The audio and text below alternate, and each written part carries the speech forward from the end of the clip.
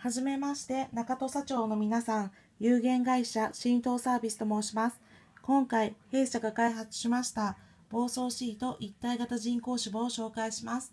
防走シートと人工芝が一緒になったことで、施工への手間が一気に省けるようになりました。